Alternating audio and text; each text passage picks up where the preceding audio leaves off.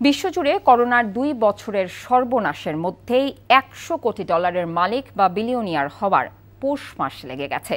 জ্বালানি তেল, ওষুধ কোম্পানি আর প্রযুক্তি ব্যবসায়ীরা বিলিয়নিয়ার হওয়ার দৌড়ে গেছেন এগিয়ে। অক্সফামের গবেষণা বলছে, প্রতি ত্রিশ ঘন্টায় একজন করে নতুন বিলিয়নিয়ার বা একশো কোটি ডলারের মালিক তৈরি হয়েছেন। আরও জানাচ্ছেন রানা মঞ্জুর।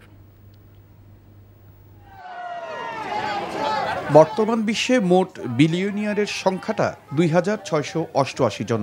তবে দুই বছর আগে সংখ্যাটা এত বড় ছিল না। করোনা মহামারীর মধ্যে দুই বছরে প্রতি তিরিশ ঘন্টায় একজন করে বিলিয়নিয়ার বা একশো কোটি ডলারের মালিক হওয়ায় সংখ্যাটা বড় হয়ে গেছে। আন্তর্জাতিক মানবাধিকার সমীক্ষা সংস্থা অক্সফার্ম ইন্টারন্যাশনালের গবেষণায় এমন তথ্য উঠে এসেছে। সুইজারল্যান্ডের দাভোসে ওয়ার্ল্ড ইকোনমিক ফোরামের বার্ষিক অধিবেশনে প্রকাশিত প্রফিটিং ফ্রম পেইন শীর্ষক প্রতিবেদনে অক্সফাম বলেছে, করোনাকালে বিশ্বজুড়ে আরও গভীর হয়েছে সম্পদের বৈষম্য। তারা আরও বলেছে, করোনার ওই সময়টায় নতুন পাঁচশো তিয়াত্তর জন বিলিয়নিয়ার বা একশো কোটি ডলারের মালিক হয়েছেন, অথচ ওই একই সময়ে করোনার অভিঘাতে বিশ্বে ২৬ কোটিরও বেশি মানুষ নিদারুণ আর্থিক অনটনে পড়েছেন এবং প্রতি তেত্রিশ ঘন্টায় প্রতি দশ লাখ মানুষ দারিদ্র্যের কবলে পড়েছেন।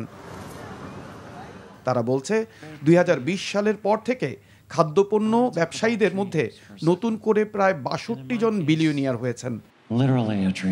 তেল গ্যাস ও কয়লা খাতের ব্যবসায়ীদের মধ্যে বিলিয়নিয়ার বেড়েছে তেপ্পান্ন জন। মহামারী চলাকালে ফার্মাসিউটিক্যাল খাতে চল্লিশ জন নতুন করে বিলিয়নিয়ার হয়েছেন। বিশ্বের সর্বোচ্চ দশজন ধনীর মধ্যেই সাতজনই প্রযুক্তি খাতের।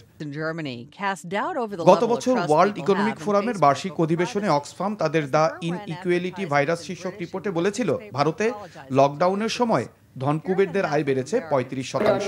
আর নতুন বিলিয়নিয়ার হওয়ার তালিকায় ভারতের ব্যবসায়ী সংখ্যাই বেশি।